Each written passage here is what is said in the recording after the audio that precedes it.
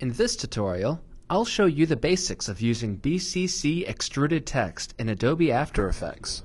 BCC extruded text belongs in the 3D objects category of filters, which is new to BCC 6. These stunning OGL-based filters use vertex and pixel shaders that enable the generation of animated 3D shatter, bulge, bend, taper, twist, ripple, and wave effects. You can also create reflection or texture maps for the generated 3D text from any image or video clip in the AE timeline. The results speak for themselves. You've probably seen BCC extruded text on TV shows and commercials. So let's get started. In After Effects, create a new solid layer. Make sure the solid matches the dimensions of your composition, otherwise scaling and other transforms won't look right. BCC extruded text is in the 3D objects category. Just click and drag. There will be a brief graphics card test, and then you get the text pop-up window. So just give me a minute here to type some completely random text, and there we go. Now as you can see, this is a fully functional text generator. You can edit justification, font, size, anything you would expect to be able to change in a text editing tool. You can even change tracking, kerning, and leading. Although I'm not going to change everything here that you could, but just be aware you can do a lot in this text editor alone. Okay, then hit apply when you're ready to start working with 3D text. And there you have it, instant 3D extruded text. Now there's a lot you can do to change how this text appears. For example, look at some of the built-in presets. You can change textures, you can make your own custom bevels or extrusions. You can do so much that I can't possibly show you all of it in one tutorial. So for now I'll just give you a small sample of the different styles and then move on to showing you how to do some basic transformations.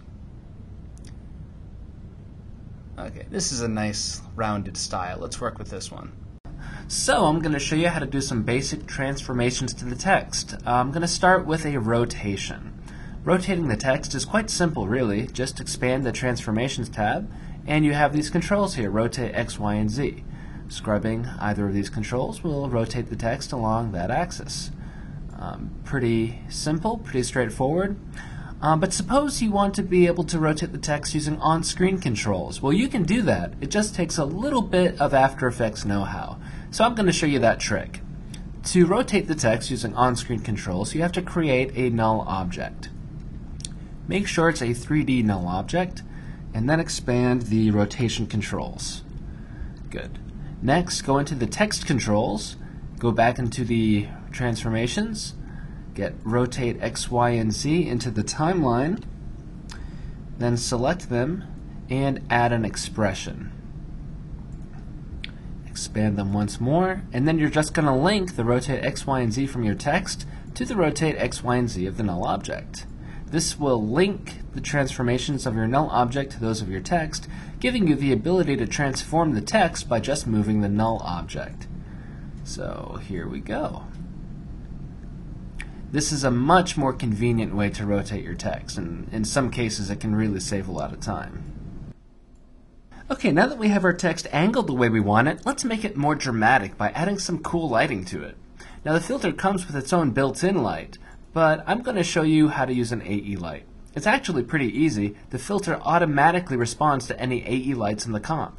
So I'm going to start with a spotlight, a yellow spotlight. You might not think that's a good idea, but wait and see. Okay, and I am going to balance that out with another light. Let's use a blue one. Alright, got some nice lighting going on here. I do want you to pay attention to some of the neat shadows that are being formed in real time by these lights. This is also a good time to point out that you can create your own custom bevels and extrusions for the text. Notice how the text tapers towards the back. This was a custom extrusion created from an AE mask. You can save your extrusions and bevels and use them in later projects. Okay, let's add some motion to the text. Now the best way to give your text motion is to use a camera. The filter comes with its own camera, but I'm going to use an After Effects camera. Check off Use Comp Camera and just create an AE camera. then change your view mode to two views, and here we go. Now all you have to do to create a nice simple flyby is change the position of your camera and keyframe it. So I'm going to start with the camera a little bit off screen.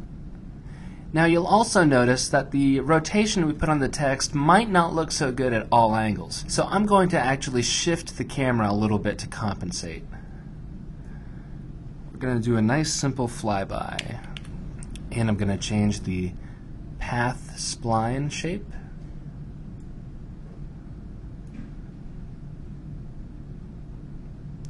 Okay, I'm just going to scrub the timeline a little bit to see that it's going to look the way I want it. And now let's see what it looks like in render mode. Now before I go, there's just one more thing I gotta show you, and that's deformers.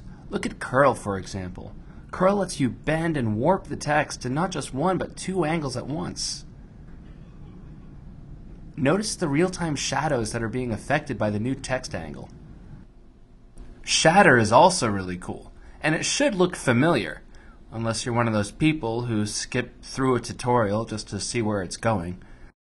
The other deformers are also great. Pulse, Ripple, there's actually so much I could say about them I can't possibly fit it in into one tutorial. Speaking of which, I'm out of time. If you need more help, check out the built-in PDF help file that comes with all BCC filters or visit our website at www.borisfx.com where you can find more tutorials on extruded text and other BCC filters.